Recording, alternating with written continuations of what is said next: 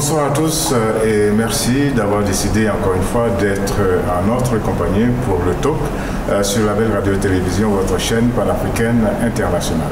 Aujourd'hui, nous allons aborder une question, euh, on va dire, qui est d'actualité. Il s'agit de euh, la participation des femmes en politique, la présence des femmes en politique sur le continent africain. Et pour ce faire, nous avons comme invité Madame Hadija euh, Maekor Diouf. bonsoir Madame.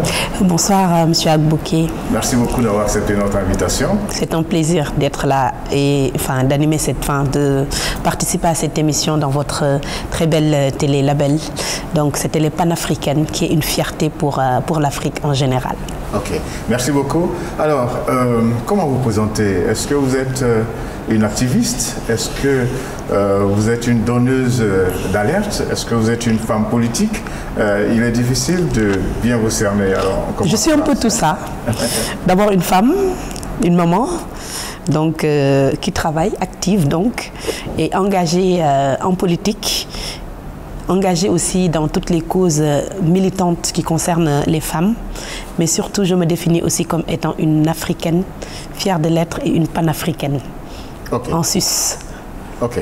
Alors pour bien vous connaître, nous allons proposer à, à tous ceux qui nous suivent, les femmes, les hommes, les jeunes, eh bien, le sujet que voici, sujet dans lequel nous présentons notre invitée, Madame euh, Kadidja Maïkor Diouf.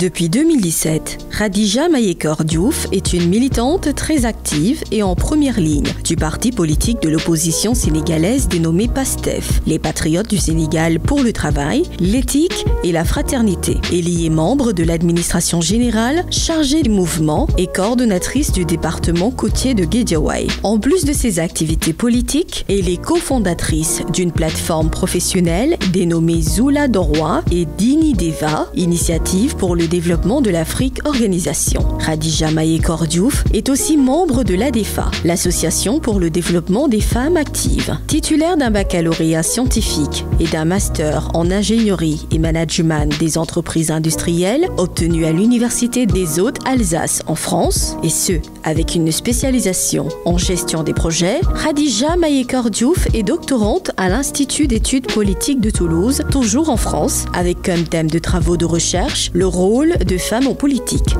Khadija Maïkor Diouf est mariée et mère de deux enfants. Bien, Madame euh, Khadija euh, Maïkor Diouf, euh, on vous connaît mieux. on vous connaît bien au Sénégal. Alors, je dirais oui, parce que je, m'active beaucoup euh, dans ce nouveau média qui est Facebook, mhm. donc les réseaux sociaux en général, donc qui nous offre aujourd'hui une opportunité en fait euh, de, vulgariser le militantisme féminin, le militantisme euh, politique, mais surtout de partager en fait tout, tout, ce que nous pouvons avoir comme avis sur tout ce qui se passe dans ce pays, dans le continent, mais surtout sur tout ce qui se passe surtout par rapport aux causes des femmes et surtout euh, à leur engagement et à leur présence en fait en politique et surtout au Sénégal. Alors on va insister beaucoup sur l'engagement des femmes en politique. Euh, on a envie de savoir euh, qu'est-ce qui vous a fait prendre conscience que la femme, la femme sénégalaise, la femme africaine doit s'engager en politique alors, c'est une, excellente question qu'on me pose souvent. Pourquoi je me suis engagée en politique? D'ailleurs, je me demande pourquoi on pose rarement aux hommes euh, pourquoi ils s'engagent en politique? Parce que je savoir, même si voilà. vous avez subi une formation. Euh, en fait, c'est de peut-être par, par, rapport à mon parcours. Donc, euh, parce que moi, j'ai très tôt baigné dans un milieu associatif très développé, très jeune. Donc, j'ai eu aussi des parents qui très tôt nous ont appris à nous engager dans une cause. Hein. Euh, ça pouvait être la cause de la cité, ça pouvait être dans une école où on s'engage dans des associations scolaires, mais surtout euh, l'objectif en fait ce qu'ils nous ont inculqué comme valeur, c'est que dans une vie, il faut savoir s'engager dans quelque chose qui fait marcher la cité. Au-delà euh, de nos engagements professionnels, euh, par le passé de notre engagement scolaire, on a toujours milité dans des causes. Voilà. Et moi, particulièrement, euh, ça m'a toujours plu de m'engager, par exemple, dans des associations de mon quartier, donc dans les associations environnementales, dans des clubs d'éducation à la vie familiale. Donc, j'ai baigné dans ce milieu. Et plus tard, au niveau universitaire aussi, j'ai eu toujours cette passion, cet engagement très développé à intégrer des causes auxquelles je crois. Et je pense que c'est tout naturellement euh, que je me suis aussi engagée dans des causes qui, concernent les femmes en général, euh, parce que je me définis avant tout. Et je pense que c'est une chance que Dieu nous a donnée comme une femme, donc euh, qui avons aujourd'hui la chance d'avoir peut-être eu des parcours assez atypiques par rapport à beaucoup de femmes qui nous ont précédées, donc et qui avons aussi constaté que il y a un vide énorme par rapport à l'engagement des femmes en politique. Donc c'est tout naturellement que, que j'ai glissé euh, du monde associatif qui a toujours... Consciemment ou inconsciemment euh, Consciemment, consciemment. Euh, pour la simple et unique raison qu'à un moment de mon engagement associatif, je me suis arrêtée pour me poser une question. Est-ce que les causes que je défends aujourd'hui, je suis capable là où je suis, à ce niveau de responsabilité, de changer les choses ou est-ce qu'il faut faire un glissement vers la politique? Et, et, et c'est tout naturellement. Et c'est peut-être aussi l'avènement du parti auquel j'appartiens, qui s'appelle PASTEF, Patriote du, Sénégal pour le travail, l'éthique et la fraternité. Donc ce parti qui aujourd'hui avait une idéologie qui qui correspondait parfaitement à, à, à ce que moi je, je, je considérais comme étant euh, novatrice en, en, matière de politique. Et je suis arrivée en fait à ces questionnements euh, qui, qui, qui, qui, ont à un moment donné convergé avec l'émergence de ce parti. Donc c'est tout naturellement que j'ai glissé donc du monde associatif euh, vers le monde politique. Et aujourd'hui, euh, je, je m'épanouis pleinement dans ce milieu. Et je pense qu'il y a énormément de choses à faire en tant que femme, mais surtout en tant que jeune, parce que on a un avenir commun à écrire partout en Afrique et que je pense que notre parti aujourd'hui peut être un moyen pour toutes les femmes, pour tous les jeunes ou pour tous les Sénégalais qui se réclament patriotes euh, pour pouvoir écrire de belles pages pour l'histoire du Sénégal donc, et de l'Afrique en général. Donc euh, je dirais juste que euh, l'engagement politique que moi j'ai eu, donc c'est vrai que c'est un processus qui, dans lequel j'ai bercé très jeune, mais aujourd'hui c'est un choix de vie. C'est un choix, c'est vraiment quelque chose qui, qui, me parle et je pense que c'est il y a beaucoup de gens qui gagneraient aujourd'hui à, à envahir le monde politique parce que rien ne se fera. beaucoup de gens, beaucoup de femmes, beaucoup ouais. d'hommes, parce qu'il y a beaucoup de Sénégalais, il y a beaucoup d'Africains aujourd'hui qui ont boudé la politique euh, pour X raisons qu'on pourra peut-être voir euh, tout au long de l'émission. Mais moi, je pense que c'est là-bas où on décide de l'avenir du continent. C'est dans la politique qu'on décide de l'orientation qu'on veut donner à, à, à nos pays. Euh, c'est dans la politique que les choses se font. Donc, euh, si on se trouve aujourd'hui à la croisée des chemins et que euh, énormément de lignes doivent bouger, donc c'est important qu'il y ait un engagement massif, euh, aussi bien euh, des jeunes, mais surtout, et ça c'est un plaidoyer que je porte, des femmes en politique pour permettre en fait de changer la donne. Parce Alors, que no notre émission va se dérouler en deux parties. Mm -hmm. la première partie va nous permettre d'avoir votre jugement sur la façon dont la politique est menée dans nos pays en Afrique euh, sur euh, votre euh, jugement concernant le niveau de développement des pays africains. Alors on va commencer par ça. comment est-ce que vous, vous ressentez, comment est-ce que vous appréciez le niveau de développement des pays africains 60 ans en gros après les indépendances? Alors moi je dirais que j'apprécie le niveau de sous-développement. C'est une nuance de taille parce qu'on ne peut pas parler de développement dans nos pays. Euh, parce que dans des pays euh, Sénégal, Guinée, euh, Côte d'Ivoire, tous ces pays qui nous entourent, le constat est le même. Euh, le développement pas euh, n'est pas encore une réalité. Euh, la pauvreté, la misère, le chômage des jeunes, tous les maux du monde aujourd'hui ont leur place ici en Afrique. Donc aujourd'hui, le, le, tableau est sombre. Hein. C'est un tableau sombre, mais c'est la triste réalité. Donc on n'a pas encore amorcé le train du développement. Au contraire, 60 ans plus tard, oui. 60 ans plus tard aujourd'hui, on est voilà après les indépendances. la question que moi je me pose, est-ce que nous sommes condamnés aujourd'hui à vivre pauvres le restant de notre existence? On en reparlera, mais euh, ils sont nombreux à dire que le développement, c'est un processus. Est-ce que euh, 60 ans, euh, c'est beaucoup? Certains disent Paris ne s'est pas fait en un jour. Est-ce que vous n'êtes pas pressé. Est-ce qu'il ne se trouve pas des Africains qui soient pressés, un peu trop pressés, qui oublient que le développement, c'est finalement un processus? Le développement, c'est un processus, ça je l'entends. Mais ce qu'il faut aujourd'hui savoir aussi, c'est qu'il faut amorcer le processus. Et je n'ai pas l'impression que nos pays, nos jeunes États, comme on nous appelle, euh, ont amorcé ce processus. Au contraire. Le nombre, de personnes alphabétisées, par exemple Non, c'est largement faible par rapport au, niveau de développement de ces indicateurs où on devait être. Aujourd'hui, si je prends le cas d'un pays comme le Sénégal, euh, le taux d'analphabétisme, les agrégats euh, sur lesquels on peut se baser pour, pour mesurer le niveau de développement d'un pays, la santé, l'engagement, enfin l'alphabétisation des femmes, la santé, l'éducation, l'accès à l'eau, les, paramètres, les paramètres basiques sur lesquels on peut se baser aujourd'hui pour mesurer le niveau de développement d'un pays, je pense qu'on est largement, largement derrière, 60 ans plus tard. On reste des pays sous-développés. On, reste non seulement. Pas eu une évolution? Euh, Moi, je pense qu'il y a une petite évolution parce que je, prends juste encore le cas de Dakar. Si vous me mettez une photo de Dakar en 1960 et Dakar en, euh, en 2021, il y a certes une différence. Mais aujourd'hui, est-ce que c'est suffisant C'est la question que, les gens doivent se poser. Est-ce qu'aujourd'hui, nos jeunes pays, nos jeunes États ne devaient pas dépasser ça? Ma réponse, moi, est oui. On a un train de retard. Et j'ai l'impression qu'on est dans une sphère, dans une spirale euh, de pauvreté euh, qui, qui s'enchaîne. Euh, sous-développement, pauvreté, chômage, maladie, tous ces mots, en fait, ces vilains mots que moi, je n'aime pas, mais qui nous caractérisent, on ne peut pas le refuter. chômage des jeunes, violence, guerre, il n'y a que ces mots-là aujourd'hui qu'on utilise pour caractériser l'Afrique. Donc, est-ce aujourd'hui euh, comme ça qu'on peut peindre un pays ou un continent qui est en voie de développement?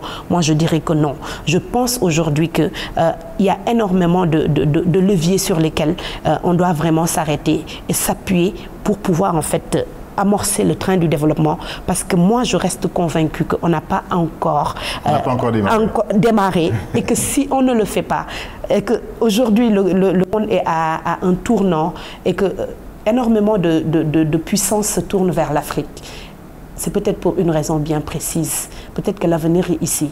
Mais est-ce que nous, Africains, nous, en sommes conscients? Et est-ce que nous sommes aujourd'hui prêts à jouer notre partition pour que ce monde qui change, ce monde qui est en mutation et où tous les regards sont tournés vers l'Afrique, que l'Afrique puisse tirer son épingle du jeu?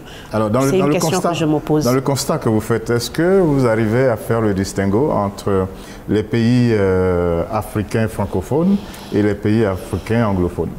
Alors moi, je ne sais pas si je me trompe. Est-ce qu'il y a une différence? Il y a une très grande différence de mentalité déjà.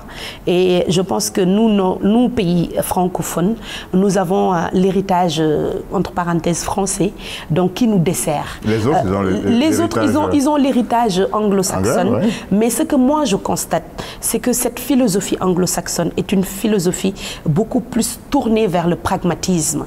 en, en, général, et, je pense que c'est un constat que les, les, téléspectateurs feront avec moi, la, la, puissance en fait euh, coloniale anglaise euh, s'est carrément retirée, ou en tout cas l'a fait avec une manière beaucoup plus nette, honnête et, visible de ces anciennes colonies. Ce qui est tout à fait le contraire de nous, les pays francophones. Euh, mais quand on prend les résultats... Euh, mais n'empêche, moi, je pense qu'aujourd'hui, si je prends un pays... Si vous prenez un, pays comme le Ghana, oui, euh, mais, il ressemble fortement à la Côte d'Ivoire. Mais, mais c'est quand même des pays aujourd'hui où on, a, on ne sent pas cette présence aujourd'hui de l'ancienne puissance coloniale. C'est vrai, il y a des similitudes par rapport, par rapport à, à, nous, pays, autres pays francophones.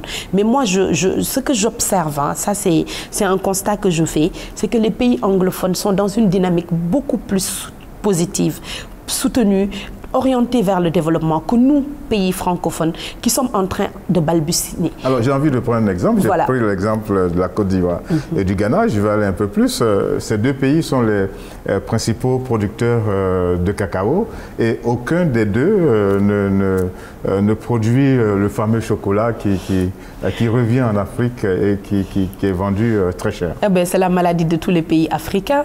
Donc ce n'est pas le propre du Ghana et de la Côte d'Ivoire, c'est le propre de tous nos pays. qui aujourd'hui avons un problème sérieux d'appréciation en fait de l'orientation que nous voulons donner à nos économies. Parce qu'on ne peut pas avoir un pays où toutes les matières premières sont exportées à l'état brut et qui nous reviennent encore avec des valeurs ajoutées qui ont déjà été mises. Si je prends le cas du cacao que vous venez de, de, citer, qui revient en chocolat avec, qui a été transformé ailleurs, donc des emplois aussi qui ont été, enfin, qui ont eu lieu sur d'autres territoires et des richesses, qui ont été créées ailleurs, une valeur ajoutée. les planteurs ghanéens. Voilà, et, donc aujourd'hui, nous aujourd'hui, euh, on, préfère en fait exporter nos matières premières pour que les produits nous reviennent en produits finis. Et de la même manière, on exporte nos emplois parce qu'un produit brut qui n'a pas subi de transformation ne, ne, permet pas aujourd'hui d'absorber euh, le, chômage des jeunes. Euh, je donne juste un exemple, le cacao qui serait transformé en Côte d'Ivoire, mais c'est des emplois pour les, pour les jeunes Ivoiriens. Euh, si vous venez au Sénégal, le poisson qui serait transformé au Sénégal, c'est des emplois pour les, pour les jeunes Sénégalais. Et les exemples, on peut les multiplier à l'infini. C'est juste pour, pour aborder une question très forte du patriotisme économique. Parce qu'aujourd'hui... Euh, c'est une question de patriotisme ou c'est une question de moyens C'est les deux en, même temps. Et moi, je pense que Parce faut avoir les si moyens les États, euh, pour des questions d'entreprise, c'est des questions d'orientation et c'est des choix de politique que nos dirigeants doivent aujourd'hui faire. Parce qu'on ne peut pas continuer 60 ans plus tard, aujourd'hui, à observer les mêmes causes qui produisent les mêmes effets. Donc, à un moment, je pense que c'est important qu'on se pose et qu'on se pose les bonnes questions. Est-ce qu'aujourd'hui, l'Afrique décide de continuer à exporter ses matières premières ou est-ce que l'Afrique décide d'implanter des industries de la même manière que la Chine, de la même manière que, que, les pays du, euh, le Brésil, je peux citer aussi Malaisie et j'en passe, ces pays qui, à un moment de leur histoire, se sont arrêtés pour poser en fait les bases de leur, reconstruction. Et c'est pas diable, on ne recrée pas la roue. Euh, tous les pays qui se sont développés sont passés par une phase d'industrialisation. Ils ont eu des matières premières qu'ils ont transformées, produit des emplois, augmenté le niveau de vie des populations exporter et devenir des dragons. Alors vous pensez que nos, nos, dirigeants, nos chefs d'État n'ont pas cette vision? Euh, C'est long, ils tardent à le matérialiser. Hein. C'est long, ils tardent à le matérialiser. et, et chemin faisant, moi je pense qu'aujourd'hui, avec euh, tout ce que nous vivons dans le continent africain, un niveau de pauvreté qui, dépasse l'entendement, euh, des jeunes aujourd'hui qui prennent la mer faute de, de, pouvoir rêver ou de croire encore euh, en leur pays, moi je pense que la question ne se pose plus. C'est devenu même une évidence. L'évidence pour moi aujourd'hui, c'est qu'on ne peut plus attendre pour industrialiser l'Afrique. D'autant plus que euh, ce qui manque aux autres pays, euh, vous allez en France, vous allez dans, certains pays euh, comme la Chine, il leur manque ce que nous, nous avons en quantité. Mais astronomique des matières premières, des, la mer, nous avons le soleil, nous avons les, les intrants, nous avons le, le, pétrole, nous avons le bois, nous avons tout ce qu'il faut pour développer un pays. La seule chose qui nous manque, et moi je pense que c'est le moment de s'arrêter aujourd'hui et de réfléchir sur la révolution industrielle à l'africaine. Parce que si on n'arrive pas aujourd'hui à comprendre que le développement de l'Afrique, la paix même en Afrique passera incontestablement par ce switch de l'économie africaine, qui passe d'une économie aujourd'hui fortement tertiarisée. Tout ce qui se passe en Afrique, c'est du commerce, c'est de la vente. On saute l'étape en fait de production, de transformation. Et c'est cette étape aujourd'hui qui est pourvoyeur d'emploi. C'est cette étape aujourd'hui qui peut lancer un pays. Et c'est cette étape qui peut mettre un pays sur les rails du développement. Moi, je pense qu'il est temps aujourd'hui que nous arrivions et que nos dirigeants euh, sachent que euh, ce n'est plus un choix, c'est même devenu une nécessité de survie pour Alors, le comme continent. ça ne s'est pas encore fait, euh, ils sont nombreux à dire, euh, puisque vous avez cité hein, euh, toutes les ressources naturelles, toutes ces matières premières que nous avons sur le continent dans pratiquement tous les pays africains, ils sont nombreux à parler de malédiction des ressources naturelles, parce que finalement, ces ressources naturelles, plutôt que de nous permettre de nous développer, nous créent beaucoup de problèmes et des fois même sont à la base de toutes nos difficultés, les guerres et la pauvreté Alors moi, je dirais que le, pétrole, par exemple, n'a pas été une malédiction pour Dubaï. Au contraire. Donc, là, je viens dans les pays africains. Non, mais je, donne un exemple. Mhm. Moi, je, refuse aujourd'hui de rentrer euh, dans ce débat en disant que c'est une malédiction. Ah non, ce n'est pas une malédiction, c'est une fabrication de l'ancienne puissance, de nos anciennes le puissances. Gabon, le Congo, le, Gabon, Tchad, prenons le cas. euh, sont prenons pas, le cas. se sont pas euh, développés avec le pétrole. Ils ne se sont pas développés, mais qui, qui, qui, qui Et pourtant, c'est de grands pays Mais qui euh, producteurs de pétrole. Qui déroulent Ils ne produisent pas. Ils ne- ils n'exploitent pas leur pétrole. C'est-à-dire qu'aujourd'hui, soit ayons l'honnêteté de le dire, hein, euh, moi je, je, je, je, je- je suis déçue en fait quand je vois en fait la manière dont même nos ressources sont offertes au détriment des Africains à l'ancienne puissance coloniale, qui est la France, euh, si je peux me permettre de le citer comme tel, qui aujourd'hui a la main mise sur nos ressources. Tous les pays occidentaux qui viennent en Afrique, c'est pour piller. C'est pour euh, négocier des termes de, de contrat qui ne sont pas avantageuses pour l'Afrique. Donc, est-ce que réellement euh, c'est une malédiction ou est-ce que ces puissances aujourd'hui nous maintiennent dans un niveau de sous-développement qui sous-tendent leur développement?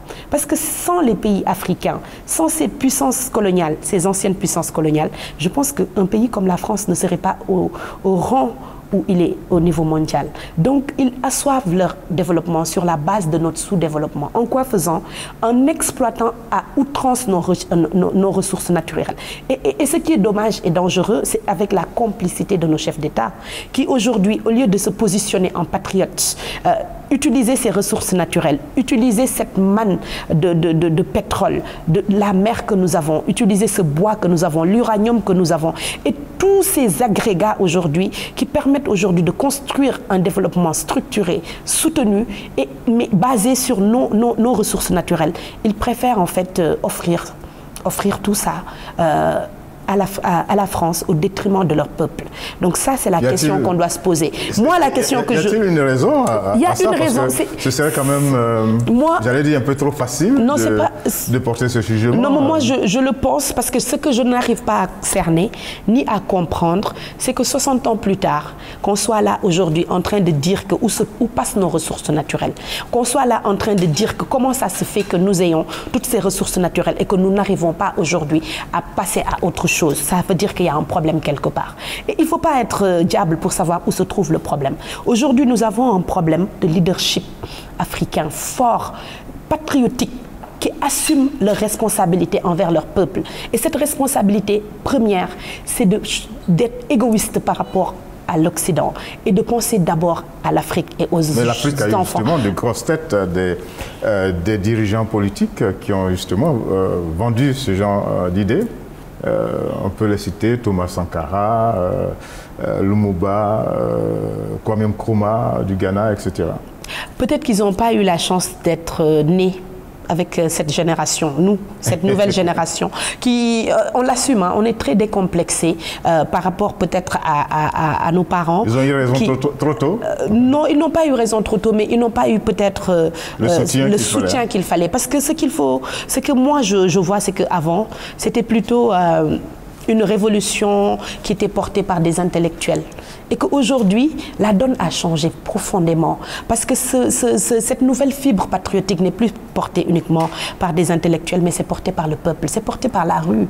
Euh, si on voit ce qui se passe au Sénégal aujourd'hui, avec une jeune génération aujourd'hui qui, qui, qui- en veut, une jeune génération qui veut changer les choses. Vous allez, euh, vous allez au Niger, on voit la même chose. Vous allez en Côte d'Ivoire, c'est la même chose. Cette ce dynamisme aujourd'hui que nous voyons chez les jeunes, je pense que les Thomas Sankara, les Modibo Diarra ont ça. Même les Cheikh Anta Diop au Sénégal. Euh, souvent, c'était des gens qui étaient parfois, qui n'étaient pas connus euh, par le peuple.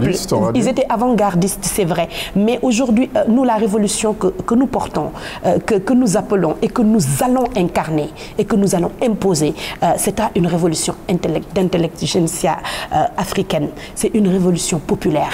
Et c'est en train d'être mise en place dans tous les pays africains. Alors, tel, Et- tel- tel- tel que vous parlez, on sent hein, qu'il y y a une sorte de déphasage entre les dirigeants africains et leur peuple. Euh, Ils ne sont pas sur la même longueur. alors là, non, ils ne Alors, sont comment, pas. comment, comment les mettre euh, Non, mais je pense que euh, ensemble au diapason euh, moi, je pense les que uns envers les autres? Il faut une alternance générationnelle, tout simplement. C'est-à-dire? Voilà, parce que moi, je, je, je pense que cette génération qui nous dirige aujourd'hui, qui est à la solde de, de, de l'O- de l'Occident, de la France, encore une fois. Pas un peu. Non, c'est c'est- c'est- c'est la réalité. C'est la réalité parce que si vous, vous, vous regardez nos pays, on n'a pas besoin d'être un devin pour comprendre qu'aujourd'hui, euh, nos dirigeants sont à la solde de ces puissances et que nous, aujourd'hui, on n'accepte plus de continuer en fait à vivre de la même manière que, que, nos, parents ont vécu. Aujourd'hui, nous avons des aspirations. Aujourd'hui, nous avons des rêves. Et aujourd'hui, nous avons, euh, nous avons le regard sur ce qui se passe dans le monde.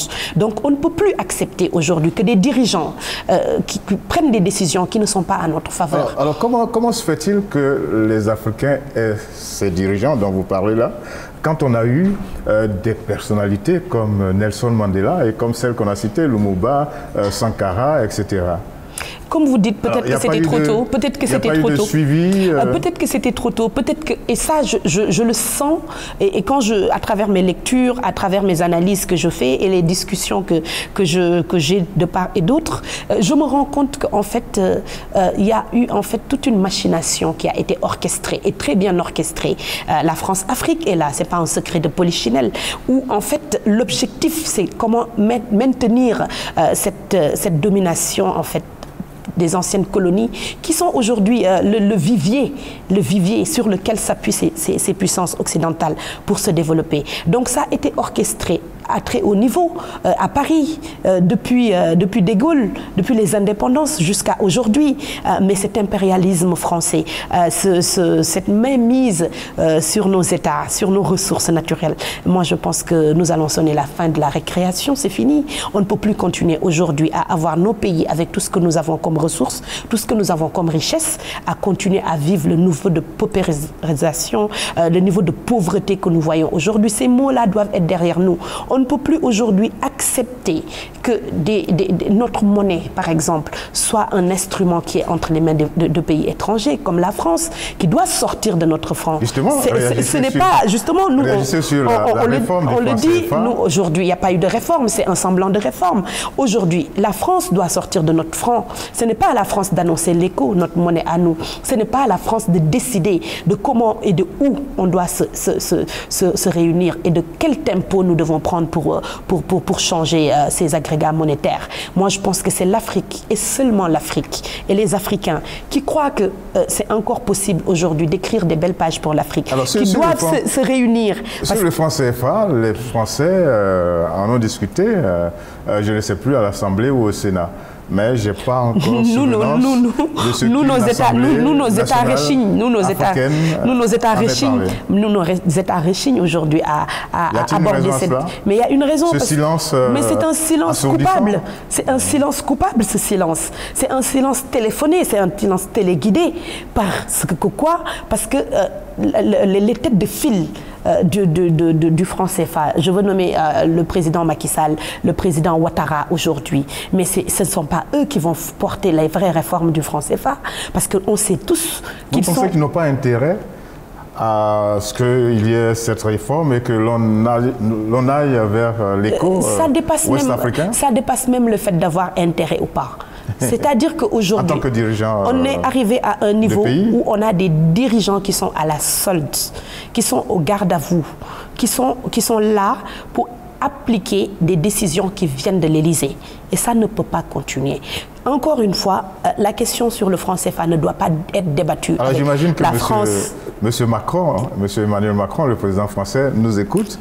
Il va dire Ah, mais cette dame, elle a un sentiment anti-français. Ce n'est pas, pas du tout un sentiment anti-français. Euh, je, je, vais dire juste qu'il euh, y, y, a un proverbe sénégalais qui dit que je me préfère ça ne veut pas dire que je te déteste. Les Ivoiriens disent euh, je vous aime tous, mais je me préfère. Je me préfère. Et donc aujourd'hui, nous, ce que nous voulons dire euh, aux Français, nous ne sommes pas anti-français. Au contraire, moi, j'ai fait mes études en France. On est là en train de parler français. Et je m'habille parfois, euh, j'ai porté une robe. C'est pas forcément la France. On est dans un monde globalisé, dans un monde vraiment mondialisé. Mais ce qu'il y a, c'est qu'on ne peut pas aujourd'hui accepter de continuer à vivre comme nos parents l'ont vécu. Aujourd'hui, nous avons des rêves et nous avons des aspirations. Et cette relation euh, France-Afrique déséquilibrée ne peut pas continuer parce que ça n'arrange pas les Africains. Pourtant, le président Macron, quand il a été élu, il a dit que on va lancer désormais euh, des partenariats gagnant-gagnant. Ça, des, ça reste des promesses. On n'a pas besoin que la France nous dise aujourd'hui ce que nous avons à faire. Nous n'avons pas aujourd'hui besoin de cette présence euh, française à outrance. Je prends juste le cas des, des, des, bases militaires françaises qui sont partout en Afrique. Prenons le cas du Mali, euh, la, force Serval, aujourd'hui Barkhane. Est-ce que vous avez l'impression que depuis le temps qu'ils sont là, ils sont là pour défendre les intérêts des populations? Moi, je pense que c'est un agenda caché en général qui leur permet aujourd'hui euh, d'être chez nous, de pouvoir défendre les intérêts des entreprises françaises qui sont là. Surtout d'être le bras armé de certains dictateurs africains. C'est ça la triste réalité. Mais nous, on ne peut pas continuer aujourd'hui en tant que jeune génération euh, qui, qui, comme je l'ai dit tout à l'heure, avons des rêves. Et nous n'accepterons pas que ces rêves soient brisés. Nous avons foi en notre continent parce que nous savons aujourd'hui que nous sommes l'avenir du monde. Nous savons que ce continent aujourd'hui euh, que Dieu nous a donné, avec tout ce qu'elle regorge comme ressources, on n'a plus le choix aujourd'hui. On est obligé aujourd'hui de passer par cette révolution que nous appelons pour lancer enfin le développement de l'Afrique. Et cette jeune génération à laquelle moi j'appartiens, d'abord en tant que euh, femme indépendante, euh, femme euh, qui, a, qui, a, qui, a, côtoyé l'Occident, le, les Français, qui a vu ce qui se passe là-bas et qui a, qui a, vu un pays, des pays qui se sont développés parce qu'ils se sont appuyés sur leurs ressources naturelles, parce qu'ils se sont appuyés sur leurs leur, ressources humaines, parce qu'ils ont cru et ils ont été fondamentalement patriotes pour développer leur pays. Moi je pense qu'aujourd'hui, il n'y a plus de choix pour la alors vous le C'est le patriotisme africain que nous appelons. Ah, il y a un lien, pouvoir en fait il y a un lien lancer entre, le développement de l'Afrique. Il y a un lien entre euh, le développement euh, et euh, la politique qu'on mène. Euh, comment est-ce comment est que vous imaginez que euh, la politique doit être désormais menée en Afrique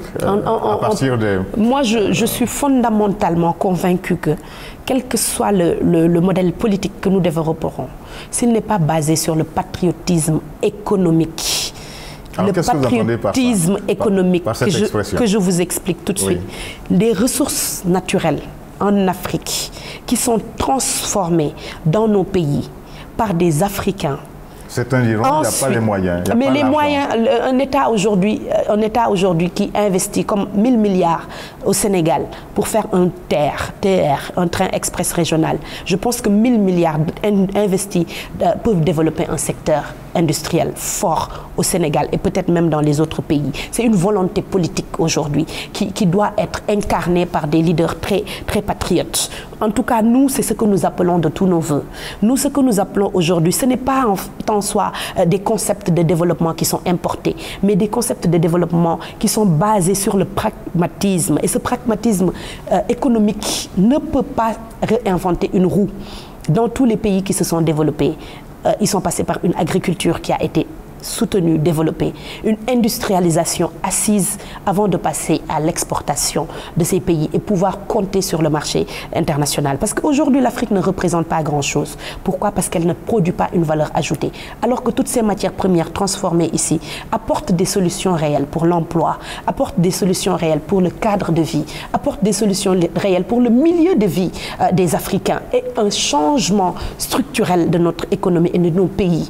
Donc nous, on ne peut pas réfléchir la politique sans le baser sur ce patriotisme économique. Mais il sous-tend une démocratie structurée. Justement. Et là, je, je vous prends au mot. hein. Je, je rebondis sur euh, euh, cette expression que vous avez utilisée, démocratie.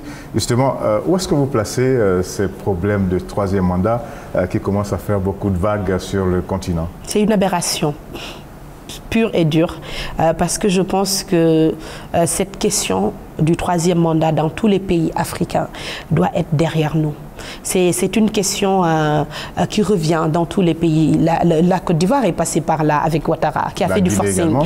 La Guinée est passée par là, mais ça ne passera pas au Sénégal, parce que le Sénégal quand même euh, est quand même une, a eu une histoire démocratique qui fait que euh, certaines choses ne passeront pas. Et je pense que le président Ouad, notre cher président, que nous regrettons aujourd'hui, a quand même été Il en a fait les frais? il, il a été un des présidents les plus aimés en Afrique et au Sénégal. Et il, en a fait les frais, il n'est pas passé. Je ne pense pas que quelqu'un qui n'a pas l'aura de, de- de- de notre cher président Abdoulaye Wade passera. Et je pense qu'aujourd'hui, cette question du troisième mandat doit être derrière les Alors quelqu'un a dit, quelqu'un a dit, pourquoi veut-on absolument limiter euh, les, les mandats des présidents euh, à, à deux? Alors qu'on peut être maire pendant, pendant 30 ans, on peut être député pendant 30 ans et là, ça ne pose pas de problème. Moi, je pense que les deux sont liés. Moi, je suis pour la limitation des mandats, aussi bien des députés, des maires et tout. Hein tous les mandats électifs. Pour la simple et unique raison que je pense qu'à un moment de développement euh, euh, d'une personne ou d'une carrière politique, ou même professionnelle, on arrive à un moment de maturité. Et ensuite, c'est le déclin. Donc, il faut donner la chance aux jeunes générations qui suivent.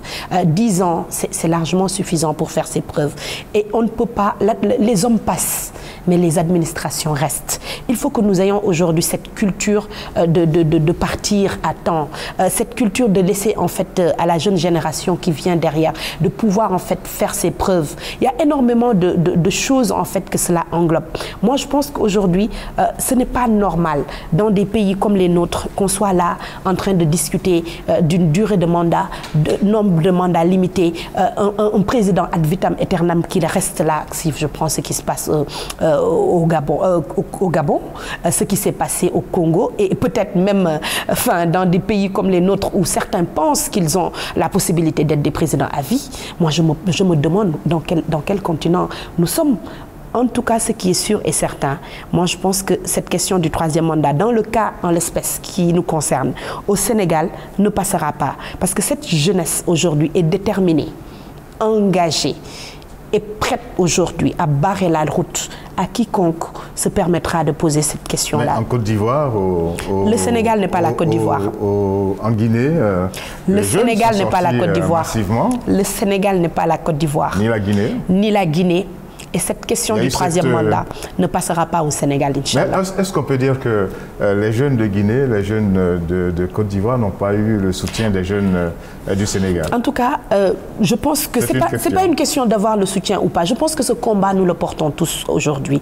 la jeunesse sénégalaise, la jeunesse ivoirienne, tchadienne, partout en Afrique, c'est un vent nouveau qui est en train de souffler. une jeunesse, en fait, qui n'était pas qu'on n'avait pas, qu'on a un engagement politique, un engagement qu'on a rarement vu euh, ces dernières années, aujourd'hui est là. Et donc, ce n'est pas une question de soutien ou de ne pas soutenir. Au contraire, moi, je pense qu'aujourd'hui, euh, le combat de Kémy Seba est un combat qui est partagé par tous les Sénégalais, tous les Africains en général. Quand vous avez euh, en France, au Sénégal, Frappe France Dégage, qui appelle aujourd'hui à l'anti-impérialisme français, vous allez au Niger où les étudiants ont découpé carrément un, un, un drapeau français, malheureusement, pour, pour montrer ce ras-le-bol généralisé. Moi, je vais au Tchad, Donc, où il y a eu un changement de régime euh, sans tenir compte des textes. Mais le Tchad, c'est un cas d'école. Le Tchad, euh, je pense que ce qui s'est passé au Tchad, c'est triste. Un pays comme le Tchad, aujourd'hui, euh, Déby est parti, mais de quelle manière? Ce n'est pas ce que nous souhaitons à nos chefs d'État. Nous voulons qu'ils partent avec les honneurs, mais encore faudrait-il qu'ils sachent raison garder. Euh, savoir que nous ne sommes plus dans un pays où euh, la dévolution du pouvoir est, monarchique. Nous ne sommes pas dans des monarchies républicaines où nos dirigeants peuvent se permettre de rester ad vitam aeternam. D'autant plus qu'aujourd'hui, ils ont une jeunesse qui ne leur laisse pas le choix. Aujourd'hui, le niveau de démocratie, le niveau d'éveil des consciences, le niveau d'engagement des jeunes est de telle sorte que euh, ce, qui, ce qui était valable il y a 15-20 ans ne peut plus être valable. Donc moi, j'appelle solennellement, en tout cas certains présidents, euh, surtout celui qui nous concerne, le nôtre, à savoir que euh, nous, on ne lui donne pas le choix, mais on lui demande solennellement de partir pendant qu'il est temps. Il faut savoir partir. Et ça, c'est quelque, chose, c'est quelque chose que nous lui demandons. Parce qu'il faut, il faut laisser écrire son nom en lettres d'or dans le livre de la démocratie sénégalaise. Et vouloir forcer pour un troisième mandat est un danger et sera un danger sans précédent pour le Sénégal. Et j'ose espérer qu'il va avoir la lucidité qu'il faudra pour ne pas essayer de forcer ce troisième mandat. Alors on aura l'occasion peut-être dans les semaines et les mois à venir euh, de, reparler de cette situation de troisième mandat. Euh, maintenant, vous avez beaucoup parlé de l'engagement des jeunes, de l'engagement des femmes. Alors, vous êtes une jeune femme. Euh, quand vous parlez d'engagement des jeunes et des femmes, qu'est-ce que cela veut dire? Moi, j'insiste surtout sur l'engagement des femmes. On parle beaucoup, et ça c'est la deuxième partie de notre émission, de l'engagement des femmes en politique. Euh, malheureusement, c'est un sujet d'actualité, euh, mais sur le terrain, on voit très peu euh, de femmes comme vous engagées en politique. C'est dû à quoi? C'est dû à beaucoup de facteurs. Hein. L'engagement des femmes en politique euh, dans nos pays surtout, et même partout dans le monde, hein, c'est pas le propre du Sénégal, euh, est quelque chose en fait euh, qui, tarde en fait à, atteindre sa vitesse de croisière. Euh, parce que ce que nous voyons aujourd'hui, c'est que euh, partout dans le monde, hein, c'est pas le propre des pays africains, euh, les femmes en fait sont là présentes. Elles ont peut-être le droit de vote. D'ailleurs, ce droit de vote qu'elles ont eu un siècle plus tard pour ce qui concerne les pays pays euh, francophone, le Sénégal en est un exemple, étant quand même une ancienne colonie française où on a quand même eu le droit de vote euh, en 1946 pendant que les hommes l'ont eu en 1845, un siècle de retard. Euh, vous voyez les statistiques mondiales par rapport au nombre de femmes qui sont présidentes, au nombre de femmes qui assument des postes de responsabilité, députées, et j'en passe. Les statistiques sont tellement faibles que ça montre aujourd'hui qu'il y, y, a un gap énorme qu'il faudra, qu'il faudra dépasser. pourquoi maintenant les femmes n'arrivent pas à s'engager en politique? Il y a plusieurs freins. Peut-être parce qu'elles sont engagées ailleurs? Non, ce n'est pas. pas forcément parce qu'elles sont engagées ailleurs. À cause des euh, dispositions naturelles? En tout cas, moi, je prends juste le cas de l'Afrique en général, avec nos coutumes, nos us et coutumes, qui parfois, en fait, euh, sont des freins et des blocages à l'engagement des femmes en politique. Parce que la femme est toujours euh, reléguée dans une posture de, de, de, de, de femme qui doit être là pour éduquer les enfants. Elle a un rôle bien défini dans la société. Dans beaucoup de sociétés africaines aujourd'hui, le rôle de la femme a toujours été d'être une maman avant tout, de faire tourner la maison, euh, d'éduquer de, les enfants. Et ça, c'est très important. Oui, c'est important, je suis d'accord. Mmh. Mais il faut aussi reconnaître qu'aujourd'hui, les temps ont changé. Et il y a des évolutions aujourd'hui qui nous appellent aujourd'hui, en tant que femmes, à assumer des postes beaucoup plus importants et un rôle beaucoup plus déterminant dans le développement et dans le processus même de développement qui, qui est en train de euh, s'enclencher. Est-ce qu'il n'est pas plus difficile à une femme d'entrer en politique euh, qu'à un homme? Parce Il est plus difficile, j'avoue. Bon, elle va aller au travail, Ensuite, elle va venir s'occuper de son foyer, quoi qu'on dise. Et puis ensuite, il faut avoir suffisamment de temps et de ressources pour aller en politique. Mais justement, c'est vrai que c'est beaucoup plus difficile euh, pour nous, les femmes, euh, de nous engager en politique. Parce que, comme je l'ai dit tout à l'heure, il y a énormément de facteurs bloquants qui font que euh, l'engagement des femmes en politique est, très difficile. Mais ce, ce, constat étant fait, moi, je pense que ça ne doit pas aujourd'hui être l'élément principal sur lequel on peut se baser pour dire que les femmes n'ont pas leur place en politique. Parce qu'une euh, une société, ça, hein. Euh, une société est composée de femmes et d'hommes. Oui. Donc, Des avec, fois, très, voilà, très et avec une spécificité, euh, souvent dans les pays euh, africains, plus de femmes que d'hommes. Donc aujourd'hui, euh, est-ce que c'est normal que une partie beaucoup plus importante qui est composée de femmes, euh, que ce soit des hommes qui décident pour ces femmes-là, pour des questions qui nous concernent? Ou est-ce qu'aujourd'hui, il est temps que nous, en tant que femmes, on aille à la table de négociation et qu'on assume en fait les postes de responsabilité, qu'on prenne des postes de responsabilité pour réfléchir sur des questions qui concernent le, pays, pour des questions qui nous concernent, mais surtout pour décider par nous-mêmes. Parce que nous n'avons pas besoin aujourd'hui que des hommes euh, décident à notre place. Nous avons, notre mot à dire par rapport au fonctionnement des choses. Nous avons aujourd'hui des valeurs et des, qualités intrinsèques en tant que femmes que nous pouvons faire valoir euh, raisonnablement sur la scène politique. D'autant plus que euh, ce siècle aujourd'hui, euh, c'est un siècle où on a un niveau de, de, de, de compétence qui est accru au, au, au, niveau des femmes. Nous avons des femmes, beaucoup plus de femmes aujourd'hui qui, sont, qui, sont, qui, sont, qui, ont, qui, ont des, qui ont fait des bacs plus 5, qui ont des métiers, qui ont des, qui ont des potentialités en termes, en termes de carrière, qui aujourd'hui s'affirment même dans, leur, dans leurs différents métiers. Mais... Mais comment ça se fait qu'on n'arrive pas à faire le switch de la, de la, de la vie politique euh, économique, de la vie professionnelle, où les femmes s'imposent, où les femmes prennent des responsabilités, où les femmes aujourd'hui arrivent à jouer les premiers rôles. Et en politique aujourd'hui, c'est comme si en fait euh, la politique n'est pas, n'est pas com compatible avec le pouvoir des femmes. Moi, je dirais juste qu'au contraire, je pense que tous les pays qui ont compris que euh, promouvoir la femme, promouvoir l'enfant, promouvoir les jeunes euh, est un facteur déterminant sur lequel un État peut s'appuyer pour, pour amorcer le développement. Alors, il y, y y y a des quotas qui ont été fixés dans certains pays et ces quotas ont du mal à être atteints.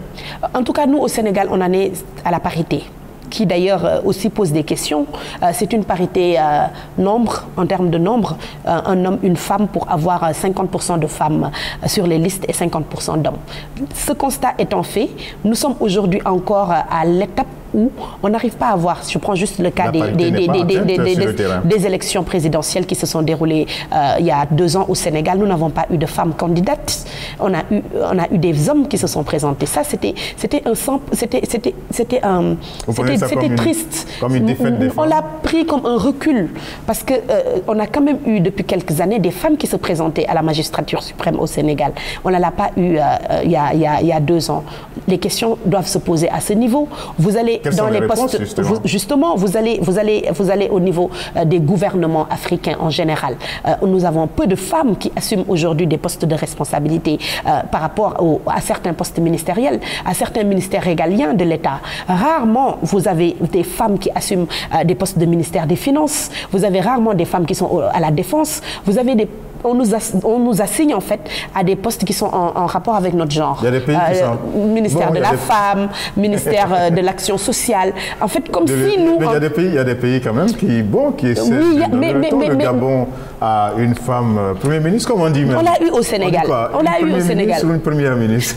C'est une très excellente question. Mais moi, je pense, je dirais une femme... Au Togo également. Une femme première ministre, Madame la Première ministre. je pense qu'on arrivera à dire ça sans que ça ne choque. Pour ça. Ça ne, ça, que ça ne choque les gens. Parce que ça aussi, ce sont des avancées que, que nous allons gagner. Ce que je voulais dire tout à l'heure, c'est qu'aujourd'hui, euh, ce n'est pas une question de, de, nombre ou de représentativité. C'est une question de qualité. C'est une question, en fait, de, de, de permettre aux femmes aujourd'hui de faire leurs preuves à tous les niveaux. Nous, on n'a pas besoin aujourd'hui qu'on nous assigne à des postes de ministre de la femme, de ministre de l'action sociale ou des postes qui sont uniquement en rapport avec notre, notre féminité. Nous avons besoin aujourd'hui d'avoir des femmes dans des postes de décision importantes à tous les niveaux. Parce que nous avons des femmes ingénieurs, nous avons des femmes qui, qui sont euh, dans, dans, le BTP, nous avons des femmes qui sont dans l'industrie, nous avons des femmes qui sont dans le milieu du pétrole, on a des femmes qui sont très très calées dans les finances et autres. Nous avons des femmes dans tous les domaines où on a des, des compétences à faire valoir au même titre que les hommes. Donc ce que je ne peux pas comprendre aujourd'hui, c'est ce qui pourquoi on tarde aujourd'hui à donner cette place aux femmes? Il y a des raisons. Les hommes sont naturellement... Euh, Vous pensez que c'est les hommes? Ils ont une part de responsabilité, mais nous aussi, en tant que, femmes... Ce pas les femmes qui ne sont pas suffisamment engagées En tant que femmes, euh, nous devons faire aujourd'hui notre mea culpa, euh, s'arrêter un peu et réfléchir. Qu'est-ce qui bloque à notre niveau? Pourquoi aujourd'hui les femmes n'ont pas le courage aujourd'hui d'aller s'engager en politique? C'est un blocage qu'elles ont. Beaucoup de femmes assument des carrières extraordinaires, mais on n'arrive pas à les voir sur la scène politique. Il y a un blocage quelque part. Donc on a notre part de responsabilité. Si on prend aujourd'hui la configuration des partis politiques, euh, on a peu de femmes qui assument des, des, des, postes de responsabilité au sein des partis politiques. Si on prend les postes électifs, beaucoup de femmes préfèrent soutenir des hommes les hommes votent pour les hommes et les femmes aussi votent pour les, pour les hommes. Et on préfère aujourd'hui, nous, être derrière pour accompagner. On a rarement vu euh, des femmes qui s'organisent pour euh, euh, faire émerger, en fait, une masse critique, en fait, de leaders. On a quand même vu Madame Hélène Sirleaf. Oui, oui, oui. Mais ce que, moi je dis... Ce que moi je dis, c'est que nous, nous, notre combat, notre combat... C'est des cas isolés C'est des cas isolés. Et moi, ce que je dis, c'est qu'aujourd'hui, on ne doit plus être là à, à, à pouvoir compter, en fait, le nombre de femmes leaders. On doit arriver à une masse critique de femmes leaders Alors pour arriver à ça, comment régler les problèmes et quels sont-ils Justement, justement, l'un des blocages, comme je l'ai dit, euh, c'est un blocage socioculturel. Donc il faut continuer à sensibiliser par rapport au fait que euh, la présence des femmes euh, dans le milieu politique peut être une solution à beaucoup de choses du fait de notre, de notre qualité intrinsèque en tant que femme. nous sommes des mamans, nous, sommes des, nous avons des qualités et la fibre maternelle qui fait que peut-être en termes d'orientation, de, même politique, une femme est beaucoup plus enclin à travailler pour la paix parce que c'est une maman qui ne veut pas voir ses enfants mourir euh, dans une guerre, euh, alors que les hommes préféreront peut-être investir euh, dans, dans, dans, les armements. Nous, on serait plus pour l'éducation, pour la santé, parce que c'est cette fibre-là aujourd'hui qui, qui, qui, est en nous. C'est -ce pas ça qui fait que on vous glisse vers les postes non, ministériels. Non, pas forcément, mais je dis juste que... En rapport avec ça? C'est des choses aujourd'hui que nous pouvons apporter. Aujourd'hui, quand vous voyez les femmes aujourd'hui, elles, sont freinées aussi par leur éducation, euh, enfin leur niveau d'instruction. Parce que dans beaucoup de pays africains, euh, le niveau d'instruction des femmes euh, n'arrive pas à, un niveau où on a beaucoup de femmes aujourd'hui qui peuvent aujourd'hui s'affirmer. Donc tout ça, c'est des questions sur lesquelles nous devons discuter. Mais le plus important, moi, je pense qu'il faut que ce soit une volonté qui émane des femmes en elles. Parce qu'aujourd'hui, quel que soit les, les, ce, que, ce que nous, les lois, les lois que nous mettons en place, quel que soit en fait, euh, euh, je ne sais même pas quel mot utiliser pour le dire, quel que soit l'environnement et, les opportunités qui s'offrent à nous en tant que femmes pour pouvoir nous affirmer euh, sur la scène politique, si nous aujourd'hui on n'arrive pas à nous, à nous décider par nous-mêmes, à dire que nous avons ce rôle à jouer, nous avons cette place aujourd'hui à prendre et que ce combat on doit aujourd'hui le gagner pour nos enfants. Parce que c'est vrai qu'on n'arrivera pas à changer la donne en, en, en, en 10 ans, ça va être des progrès que nous allons faire, comme l'ont fait des, femmes avant nous. On doit être dans des politiques où on essaie de construire en fait euh, un leadership féminin fort qui est basé sur des compétences réelles que les femmes en elles, mais surtout on doit former les femmes en politique. Parce qu'il y a beaucoup de femmes aujourd'hui euh, qui, qui, ne s'intéressent pas à la chose politique parce qu'elles euh, ne connaissent pas les enjeux ou elles, elles préfèrent aujourd'hui euh, se, se, retirer ou s'abstenir ou ne pas s'intéresser à, à, ce qui se passe dans la politique parce que c'est quand même un milieu qui est, un milieu qui est fortement dominé par, par, par les, les mâles. Donc c'est un milieu aussi, voilà, par les hommes, excusez-moi. C'est un milieu aujourd'hui qui a, qui a cette connotation, en fait, comme si euh, c'est incarné uniquement par, euh, par les hommes. Et moi, je pense aujourd'hui qu'on doit vraiment pousser. Alors, en fait. alors question directe. Mm -hmm. Vous êtes bien engagée. Vous avez dit que vous, êtes, vous donnez des alertes, vous êtes influenceuse, vous êtes femme politique, vous êtes jeune et euh, vous souhaitez que les choses changent. Est-ce que, quelles sont les actions que vous menez sur le terrain, justement, pour, euh, pour euh, faire en sorte que les femmes, les jeunes femmes soient de plus en plus nombreuses à rallier euh, votre cause. La première que je fais, et, moi je pense que l'exemplarité est très importante. Euh, moi je suis une femme, je, suis maman, je, je, travaille, je suis aussi dans le milieu professionnel. Et je suis engagée en politique. Et je me déploie pour donner l'exemple à mes jeunes sœurs que c'est possible. Parce qu'aujourd'hui, nous avons besoin d'avoir des modèles. Vous allez dans les lycées, dans, je les, vais dans les dans lycées, les universités? Je vais dans les écoles. J'utilise les réseaux sociaux pour faire des discussions. J'utilise en fait les plateformes de femmes pour amener ces questions, poser ces questions. Je pousse en fait les jeunes femmes que je rencontre qui, à mon avis, sont pétries de talent à s'engager en politique. Je massifie pour que les femmes s'engagent en politique parce que c'est un combat qui mérite d'être porté. Et je vais plus loin que ça, moi, aujourd'hui. Moi, je pense qu'aujourd'hui, on doit arriver à un niveau où l'équilibre est inversé, euh, où, où, où, la pyramide est inversée. Mon rêve, moi, aujourd'hui, c'est qu'on arrive à un monde ou à un Sénégal ou à une Afrique où on aura plus de femmes présidentes, où on aura plus de femmes qui assument aujourd'hui des postes ministériels. Et c'est possible. D'autant plus qu'aujourd'hui, les statistiques montrent qu'au niveau de l'éducation, les femmes sortent haut la main. Je reviens encore sur donc, euh, la dame du Libéria. Elle a fait un très bon... Euh, c'est un exemple elle a à fait suivre. de très bons mandats. Elle a fait un bon mandat pacifique un mandat pacifique, il faut insister dessus. Comme je disais tout à l'heure, c'est la fibre maternelle qui parle quand une femme est aux commandes. Et aujourd'hui, euh, nous au Sénégal en tout cas, euh, les statistiques montrent que même quand vous confiez quelque chose, euh, un travail ou à une femme, on a rarement vu des femmes qui sont épinglées par les corps de contrôle.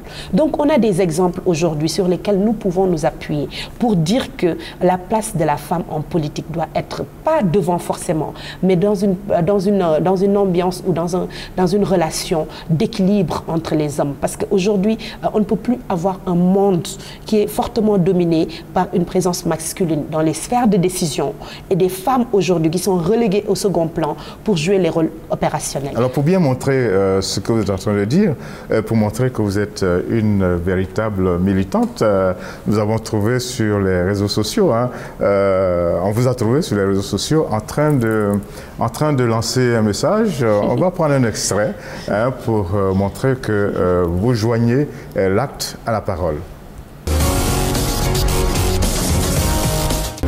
Lorsque des centaines de milliers d'Africains meurent dans la Méditerranée, dans les guerres ou dans les famines, c'est un fait divers. Lorsqu'un occidental meurt quelque part dans le monde, c'est une tragédie. La question que je me pose est de savoir savoir si la vie d'un Africain vaut moins que la vie d'un Européen ou d'un Occidental La réponse est non. La question que je me pose aujourd'hui est de savoir si les Africains sont condamnés à vivre pauvres le restant de leur vie, si nous sommes condamnés à vivre dans la misère. Je pense bien qu'un autre destin est possible pour l'Afrique, mais encore faudrait-il Mais il n'y a pas de révolution sans conscience. Il n'y a pas de révolution sans détermination. Et encore moins, il n'y a pas de révolution sans sacrifice. Les combats se mènent, se gagnent ou se perdent. Mais encore faudrait-il qu'ils soient menés. Je lance un appel à tous les Africains. Je lance un appel à la jeunesse. Et je lance un appel à la révolution. Je pense bien qu'aujourd'hui, il est temps pour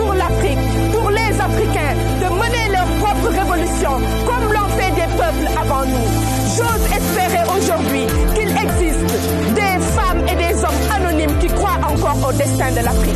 Il n'existe qu'une seule façon pour un peuple son histoire.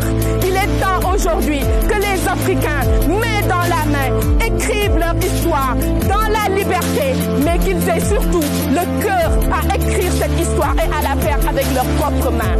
Je suis fermement convaincu que c'est possible. Je suis fermement convaincu que c'est maintenant.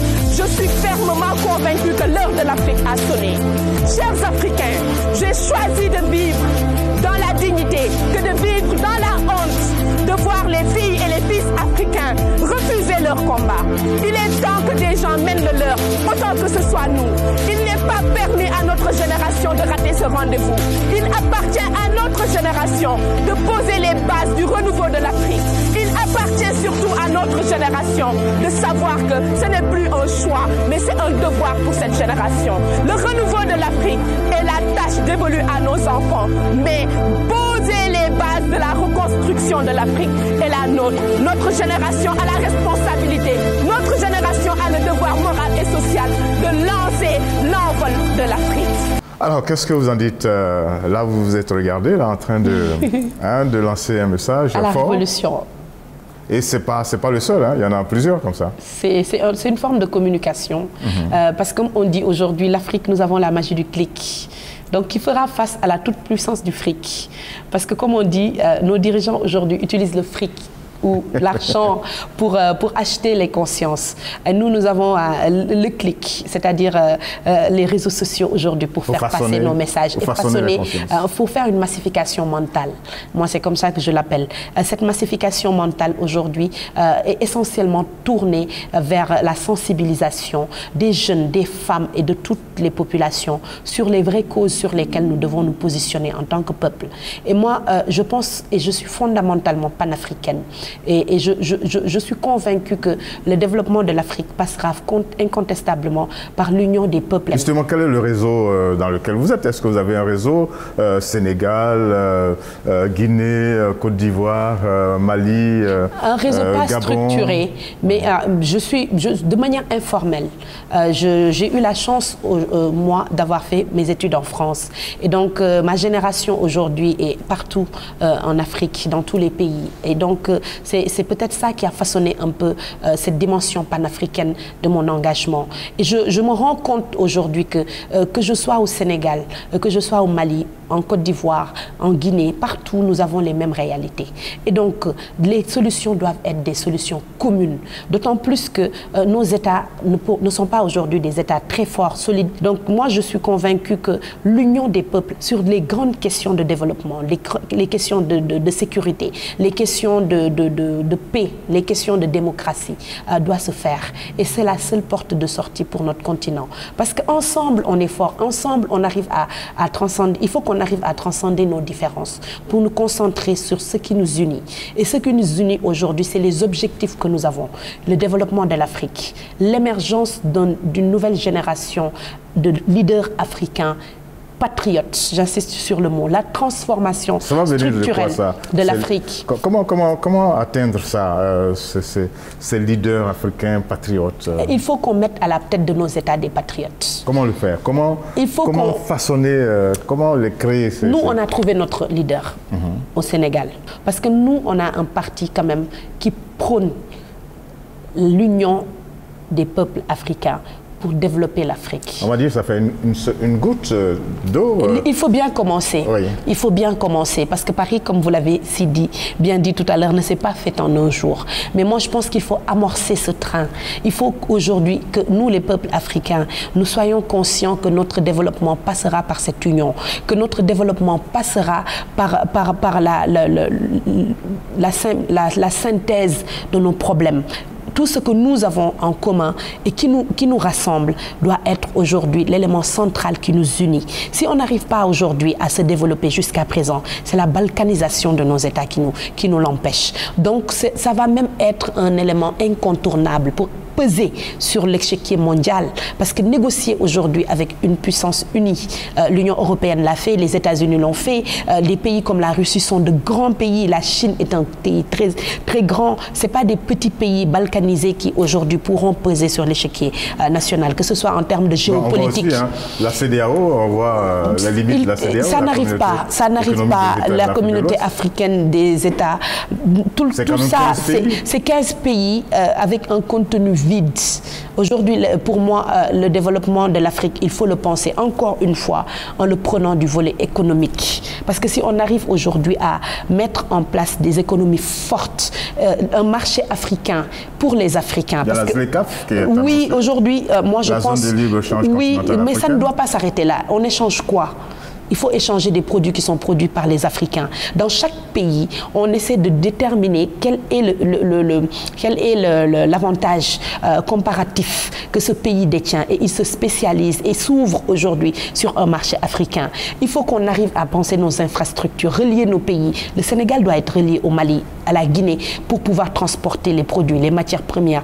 Il faut que cette, cette philosophie aujourd'hui qui sous-tend euh, l'union économique, l'union monétaire, passe d'une euh, étape de conception à une étape de réalité économique. Et l'Afrique est un grand marché. Dans les années qui viennent, d'ici 20 ans, on sera l'un des plus grands marchés. Donc, que cet avantage-là ne profite pas aux autres, mais qu'il profite avant tout aux entreprises africaines.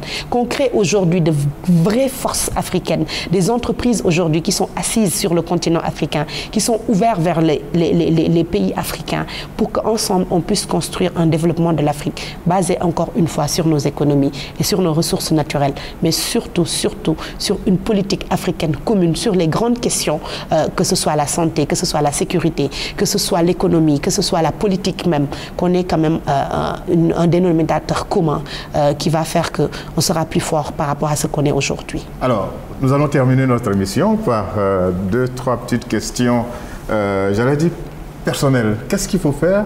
Vous, l'avez dit, hein, en direction des, des, femmes et tout ça, comme, comme sensibilisation, mais vous semblez écarter les hommes. Je ne les écarte pas. Vous semblez, hein Non, je ne les écarte pas, encore une fois. Vous n'avez pas dit Moi, ce qu'il pense... faut faire pour que les hommes euh, adhèrent à vos idées Moi, je pense que, par exemple, il y a un frein qui est énorme en Afrique. Les femmes sont bloquées par leur mari c'est une question de mentalité par moment. Beaucoup de femmes aujourd'hui ont énormément de capacités et de potentialités à faire valoir, mais malheureusement bloquées par les hommes. Donc pourquoi aujourd'hui on ne ferait pas cette sensibilisation aujourd'hui aussi au niveau des hommes pour qu'ils acceptent aujourd'hui de laisser un peu euh, leurs épouses, euh, comme quoi que ces femmes aujourd'hui, ces femmes ont un rôle à jouer euh, dans le développement du Sénégal, de l'Afrique, de, la Côte d'Ivoire, de la Guinée. tous ces pays aujourd'hui ont besoin en fait de, de cette dimension féminine de la politique. C'est très important. Il y a une touche aujourd'hui que les hommes n'apporteront pas. Donc, euh, je, lance un appel donc à, tous les maris, hein, parce que nous, en Afrique, euh, c'est quelque chose qui est là, c'est culturel. Hein. Toutes les femmes sont Voilà, nous, hein. la plupart, hein, la plupart. Euh, moi, je le suis. Et donc, moi, ma chance en politique, c'est mon mari, parce qu'il ah. me soutient. Donc, il m'encourage. Il est aussi en politique? Non, il n'y est pas. Heureusement d'ailleurs. Heureusement d'ailleurs, voilà. Donc, je dirais juste que c'est une chance. Et donc, donc, euh, l'autre aspect qui me paraît aujourd'hui important aussi, euh, c'est que euh, nous avons des, Nous, au Sénégal, par exemple, je prends toujours le cas du Sénégal parce que c'est le pays que je connais le plus, nous avons des chefs religieux aujourd'hui qu'il faut sensibiliser aujourd'hui pour qu'ils portent ce message. Moi, je pense fondamentalement qu'ils ont un rôle à jouer aussi par rapport à l'émergence de cette intelligentsia féminine, de ce leadership en Vous n'attendez pas qu'il y ait des chefs religieuses Non, non, non, c'est pas le même domaine. Avec deux, F Non, c'est pas, pas le même domaine Non, c'est juste qu'ils participent un peu. Parce que nous, la chance que nous avons, c'est que, que leur voix est bien écoutée. Et donc, s'ils comprennent le rôle prépondérant que les femmes peuvent apporter aujourd'hui euh, par rapport à la scène politique. Je pense que ce serait un grand atout euh, pour l'engagement des femmes en politique. L'autre euh, élément pertinent qui me, qui me, qui me, qui me semble aujourd'hui essentiel, c'est former les femmes. Il faut qu'on forme davantage les femmes. Qu'on mette en place. Il y a l'école, mais il y a donner les aux, femmes plus de chances pour réussir. Parce que ce que nous voyons aujourd'hui, c'est que euh, jusqu'à un certain niveau, on a autant de femmes que d'hommes en classe. Mais arrivé en seconde, première, terminale, on oriente souvent les femmes dans des séries parfois littéraires. On ne les pousse pas aujourd'hui à être des scientifiques. Et toutes ces choses-là sont des leviers sur lesquels on doit agir. Plus tard aussi, on, doit aujourd'hui ça fait partie de la discrimination positive. Oui, c'est important. C'est important. On doit pouvoir donner des bourses aux femmes pour qu'elles puissent y arriver. On doit éviter peut-être les mariages trop jeunes, trop précoces, qui sont souvent un frein pour l'épanouissement des femmes. Une femme qui est mariée très jeune n'arrive souvent pas à, terminer ses études pour des causes de grossesse, pour des causes de famille, énormément de, de choses qu'on peut citer ici. Mais surtout, et ça, il faut l'éducation au genre. Et c'est-à-dire qu'il faut aujourd'hui éduquer nos, nos enfants et nos jeunes garçons et nos jeunes filles en leur inculquant le fait qu'il euh, il faut aider les femmes aujourd'hui pour qu'elles puissent réussir. Moi, j'étais dans une famille où je, je, je, faisais la cuisine, mon frère, il, il débarrassait la table, parce que c'est comme ça qu'on m'a éduquée. Et c'est peut-être ça qui a été ma chance, moi, en tant que femme, d'avoir eu ce parcours-là. Parce que très tôt, euh, je suis née dans une famille où on nous a appris, hommes et femmes, à avoir euh, vraiment une place à jouer dans la famille on, aussi dans la société. De continuer de vous voilà, mais hein. bon, voilà. En tout cas, pour en finir, pour en finir, moi, je pense juste que le monde gagnerait. Moi, pour finir, j'ai envie de savoir si euh, on, peut vous retrouver un de ces quatre matins, député ou euh, maire ou euh, pourquoi pas ministre ou président de la République. Moi, je pense que D'abord, il y a des échéances très tôt hein, qui, vont se, qui vont se jouer. Euh, c'est les élections locales au Sénégal. Vous serez candidate Mais je serai candidate à la candidature de mon parti. Vous avez des chances Mais oui, je le pense. Et je vais aller me défendre. Et je pense que j'ai des arguments à faire valoir. Et le moment venu, je le ferai. Et moi, mon rêve aujourd'hui, c'est que dans les années qui viennent, dans nos pays africains, mhm. qu'on voit des femmes qui sont à la magistrature suprême. Et on va se battre pour que ce, ce rêve soit une réalité. Merci beaucoup, Madame euh, Halidja euh, Maïkor euh, Diouf. Euh, merci beaucoup. On a eu beaucoup de plaisir euh, à vous écouter et vous avez développé un certain nombre d'idées qui vont dans le sens du développement des pays africains, mais aussi dans le sens de l'harmonisation de nos différentes sociétés parce que vous souhaitez finalement l'égalité Plaisir partagé. entre les hommes et les femmes. Merci beaucoup aussi à vous d'être resté en notre compagnie, d'avoir pris part à cette émission en la suivant. nous nous retrouverons une autre fois pour un autre numéro et j'espère que vous serez toujours aussi nombreux. Merci encore, au revoir et à bientôt.